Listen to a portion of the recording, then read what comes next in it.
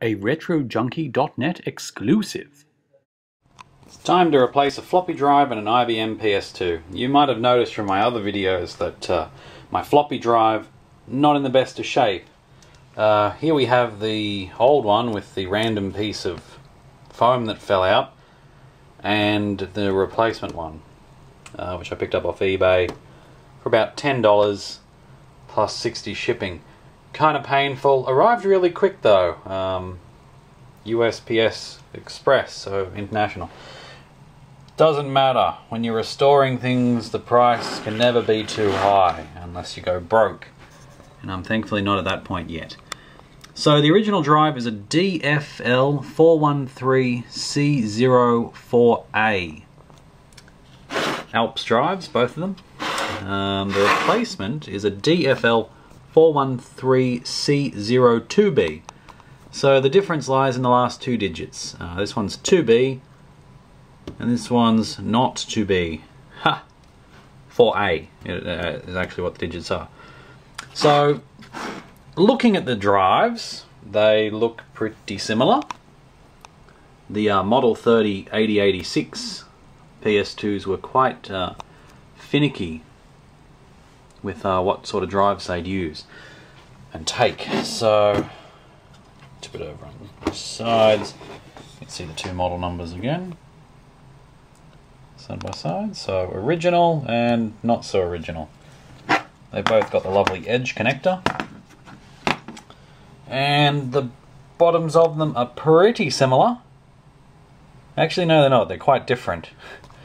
There's a microchip in the middle there. There's a smaller microchip to the side. There's a bracket thing missing from there. So the best way to test things I found is to just plug them in and see what happens. So I'm going to do that right now. And we're back. Alright, let's... Uh, I don't know what's on any of these floppies. One of them has a system. I'll start with the first disc.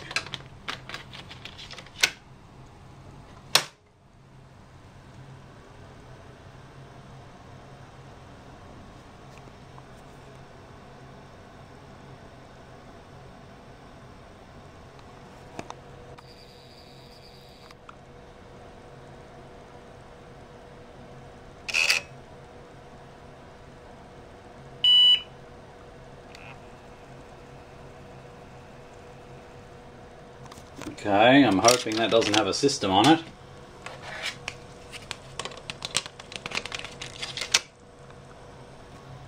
So all I'm getting is that.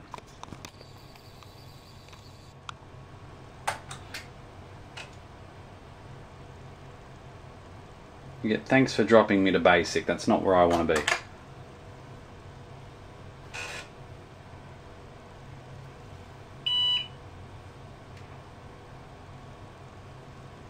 Uh-oh. Dropped basic again. Maybe I just had data on those two discs. Maybe this is the boot disk. Surely.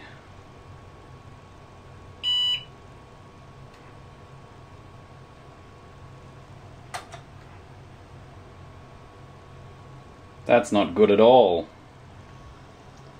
Either the drive's faulty or that model does not work. Anyway, thanks for watching. I'll get it right one day. Working floppy. Here comes the Seek.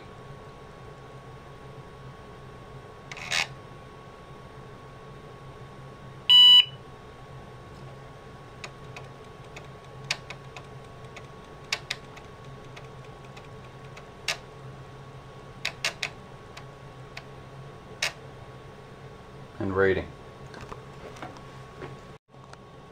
And here's the bad floppy drive.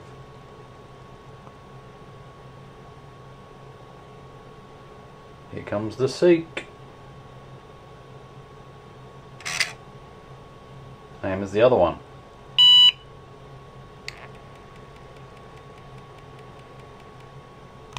But then it won't read.